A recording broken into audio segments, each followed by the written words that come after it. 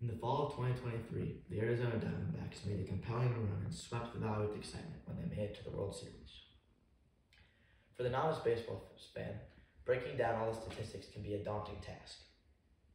Baseball statistics complete the key to unlocking strategy and are deeply integrated into the fabric of America's pastime. From the days of Babe Ruth to his modern example, Shohei Ohtani, uh, legends can be built on the back of statistics. From home runs that wow the fans to strategic analysis that become the manager's best friend. Statistics are the heartbeat of the game. We can spend an entire college semester exploring baseball statistics, but I'd like to take the next five to seven minutes explaining some of the more basic stats. So the next time your team makes it to the championship, you can not only feel like a fan, but an expert. Let's get started. Batting average plus OBP, or on base percentage. Batting average can simply be described as the number of base hits divided by at bats. Although it's very important to know the difference between at bat and a plate appearance. A plate appearance is every time a batter walks up to the plate, while an at bat is every time a batter walks up to a plate, excluding hit by pitch base on balls, sac bunt, or sac fly. Sac bunts and sac flies are simply when you pop up or bunt to advance runner to the next base. OBP is the times on base divided by plate appearances. Slugging percentage plus OPS.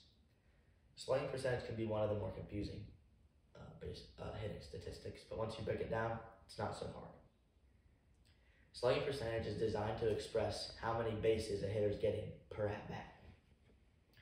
So, it's on a 4.0 scale rather than a 1.0 scale. So, if a hitter hits a home run as their only at bat, their slugging percentage would be 4.000. And if they hit a single for their only at bat, it'd be 1.000. To get slugging percentage, you add the total amount of bases and divide it by at bats. For example, if you get a triple, double, and a single, you would add 3, 2, and 1, and divide them all by 3. So your slugging percentage would be 2. OPS is simply just OP, OBP plus slugging percentage, OPS.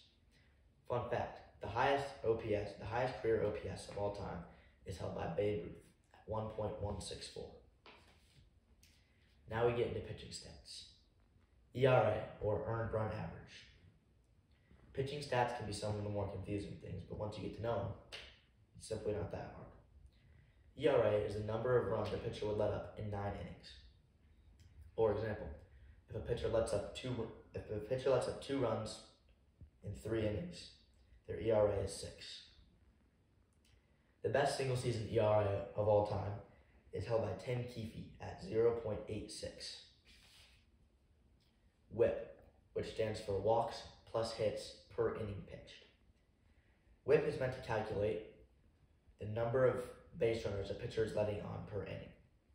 Therefore, the lower the whip, the better the pitcher. For example, if a pitcher walks one batter and gives up two hits, the pitcher's whip is three. Although a very good whip for the MLB would be about one. The best whip of 2023 was held by Gerrit Cole at 0.98. Now for the last but most confusing stat of them all WAR. WAR is one of the most confusing stats because it's very hard to understand. It is an estimated number of wins a player contributes to their uh, potential replacement. For example, if a player has a 2.6 WAR, they're worth 2.6 more wins than the average replacement player.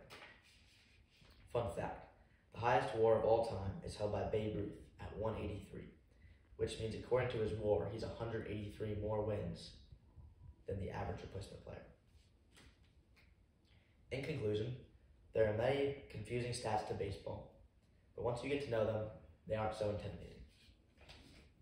Today we reviewed hitting stats such as OBP, batting average, OPS, and slugging percentage.